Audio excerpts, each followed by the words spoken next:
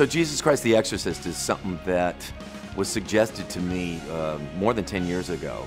Uh, a friend of mine was listening to Jesus Christ Superstar, and he, he called me. He's a funny guy. He called me and he said, We were listening to Jesus Christ Superstar last night, and people were saying, Man, somebody should do an updated version of this thing. And he said, I got the guy. I got the guy. You got to do it, man. You got to do it. And I laughed and thought, well, you know, it has been done. But I thought, well, as the weeks passed, the idea got good to me, and I decided I would take it on. And I had a kind of lull between albums, and so I did the first draft in 2008, I think it was.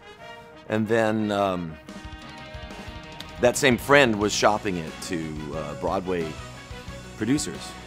And uh, a lot of people really liked it, but nobody uh, wanted to put it on Broadway at that time. So, uh, and so it sat for, oh wow, like 10 years. And I was just praying and waiting for the right time. It seemed right to me to just kind of wait. And then we were going to put it on at Morsefest.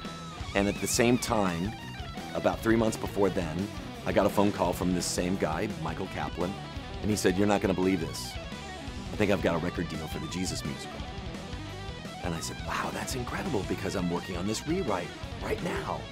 And it was very providential and really, really cool. And I'm excited about what is going to happen with it next, um, what kind of audience it will find, and what future it has. I think it's. Uh, uh, I think it's a wonderful piece, of course, and um, I think it's one of the better things that I've written.